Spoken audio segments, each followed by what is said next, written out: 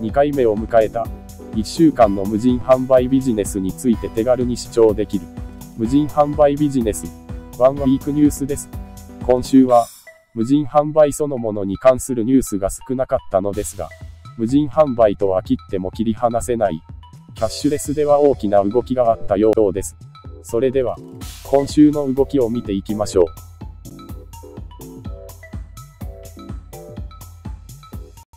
JR 盛岡駅にセルフレジ型無人店舗がオープン。2019年11月22日。JR 東日本リテールネットさんが、武蔵境駅に続いて、盛岡駅でもセルフレジ型無人店舗を、期間限定でオープン。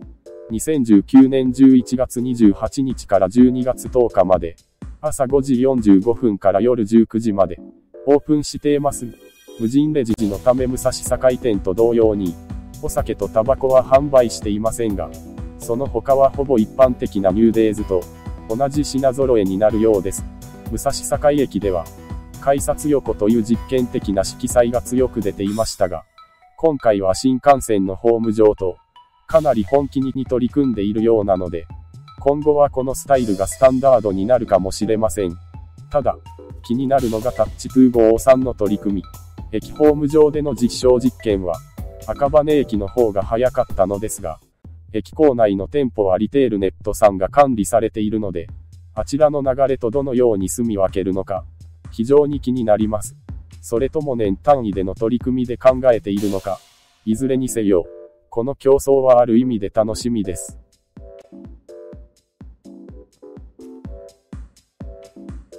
トヨタウォレット、発表、2019年11月19日。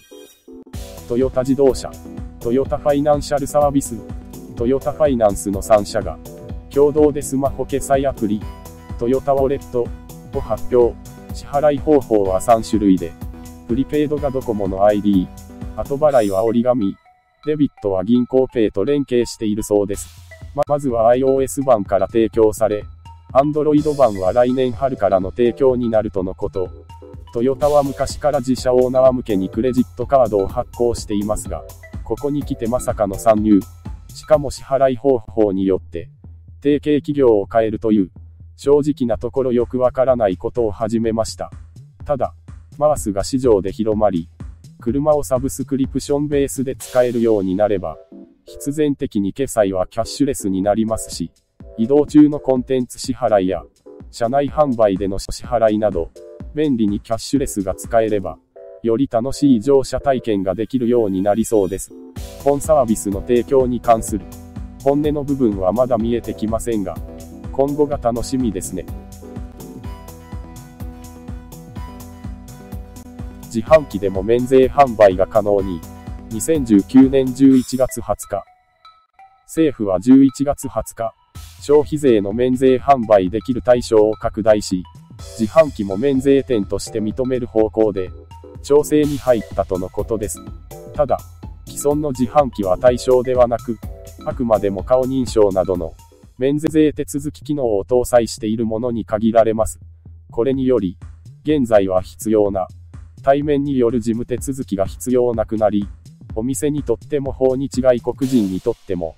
手軽に商品の販売が可能となります。現在でも、訪日外国人が自販機で商品を購入するケースは、非常に多いのですが、より高額な商品でも、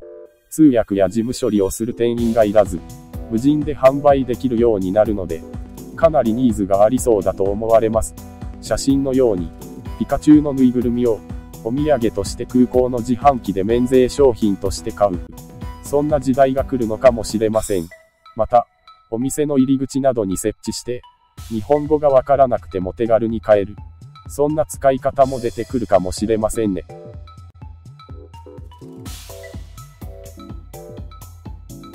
楽天キャッシュレスシステムがダウン。2019年11月23日。11月23日朝6時頃から楽天カード及び楽天ペイのシステムにおいてシステムダウンが発生。約1800万ユーザーに影響が発生しました。17時30分現在、一部サービスを除いて復旧済みですが、原因は、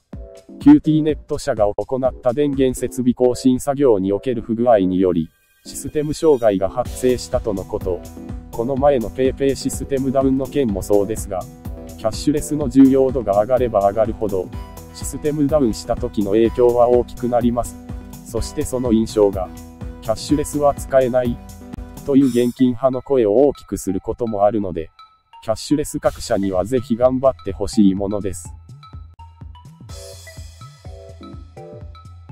動画のご視聴ありがとうございました。今後も動画を投稿していこうと思いますので、チャンネル登録や高評価をよろしくお願いします。なお、ご質問やご意見、取り上げてほしいテーマなど、ございましたらお気軽にご連絡ください。Twitter やノートで、日々情報を発信しておりますので、そちらもフォローしていただけるとありがたいです。それでは、また次の動画で、お会いしましょう。